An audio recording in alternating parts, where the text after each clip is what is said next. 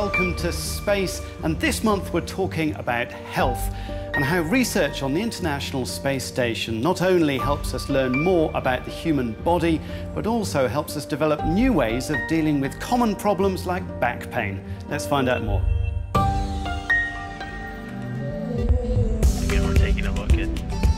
Astronauts have an out of this world job. They see sunrise and sunset 16 times a day, and over the weeks and months in orbit, their bodies change inside and out. They lose muscle mass and bone mass, and many aspects of their health are affected. They dedicate themselves to science. We don't go at all for the view or for the beauty of it. We are not uh, tourists. Career astronauts go there only for the science, the technology, and of course for the maintenance on the space station. Berlin is home to some of the most intriguing ongoing studies on astronaut health. Researchers at Charité University Hospital have developed a unique new head mounted sensor to monitor astronauts' core body temperature. We do want to have the temperature in the brain because the brain is the most important organ, not only for the astronaut, but for everybody. The surprise finding is that astronauts have a higher core body temperature in space than on the ground. Nobody can explain why. It could impact everything they do. Brain is uh, very vulnerable to any changes in, in, in, in temperature. Your time of recognition and to follow things, for example, or to make cognitive decisions, they get, uh, you have to have a longer time for it if you are at a higher temperature. As the astronaut study continues, Professor Gunga is also adapting the head mounted temperature sensor for users on Earth, ranging from firefighters to post operation recovery rooms. We need equipment which is non-invasive, which is easy to handle, which is light, which is robust, which is battery driven.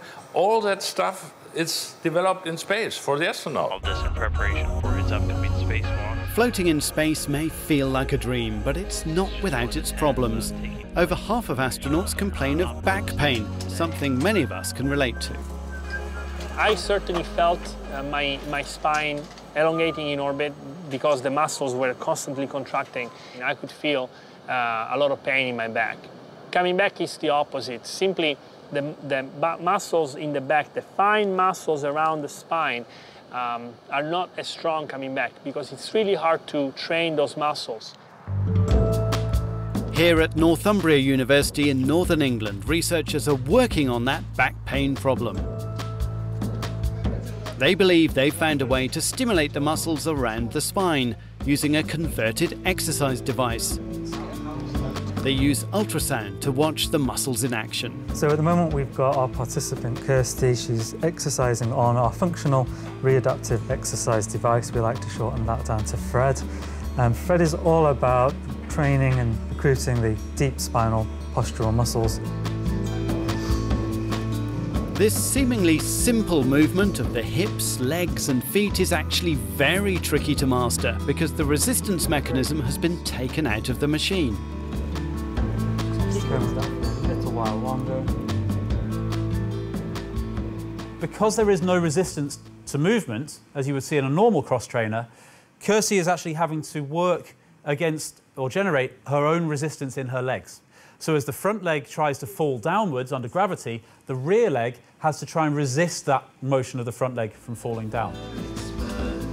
The team now wants to send a similar machine to the ISS for astronauts to test, while they're also trying it out with back pain sufferers in Newcastle.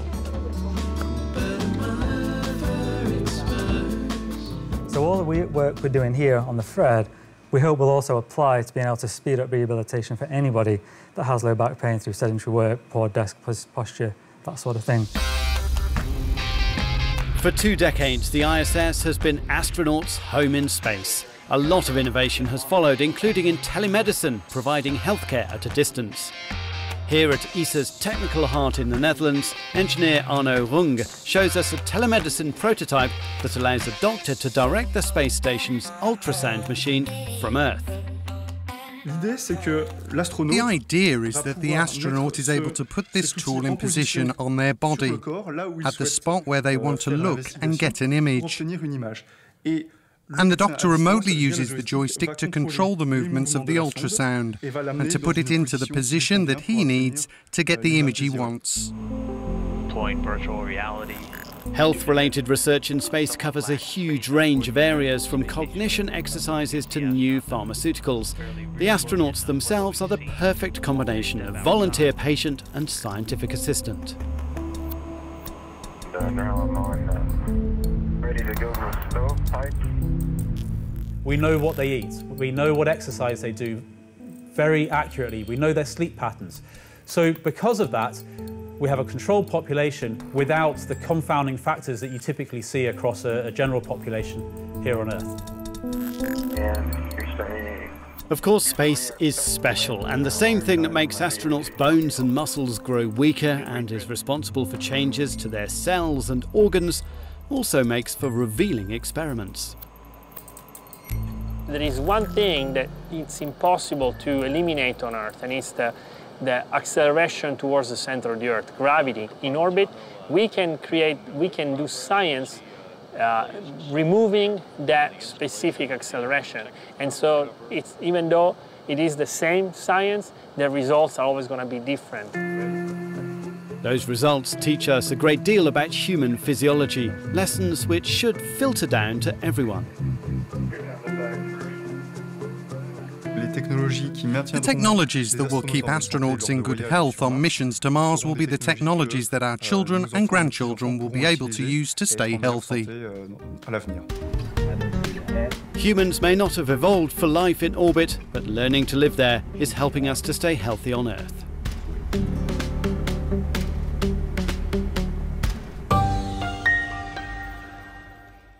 And now to the part of the show in which we take your questions about the universe and put them to the experts using the hashtag AskSpace. And I'm here with Paul McNamara, a physicist at ESA. Paul, we've had a question from Rusty Suller who'd like to know is there any proof of a multiverse and would the laws of physics there be the same? So it's a very good question. Uh, the multiverse is a theory that says we have these multiple bubbles of universes. Uh, and it actually follows on from our own theory of the universe, the Big Bang Theory, where we have a period called inflation, where the universe grew exponentially in size, actually faster than the speed of light. Uh, there is a theory that says that was an eternal process, and it's still happening. And every now and again there's a little blip, and that little blip creates a bubble, and that bubble is a new universe. And so you could have many of these universes happening. That leads me on to another question we had from Dmitro Petukov, who'd like to know can there be any evidence of the conditions preceding the Big Bang? So that's another very good question, and one which, again, there's many scientists are looking at. So we can try to see if inflation is real, and we can do that using something called gravitational waves. We have a mission we're now developing called LISA, uh, the Laser Interferometer Space Antenna, and one of the goals of LISA is to look for these primordial gravitational waves, and maybe we'll get some information on the original origins of the universe. Thanks very much for that, Paul. Well, you can send your questions to us about the universe using the Ask Space hashtag, and we'll try to answer them.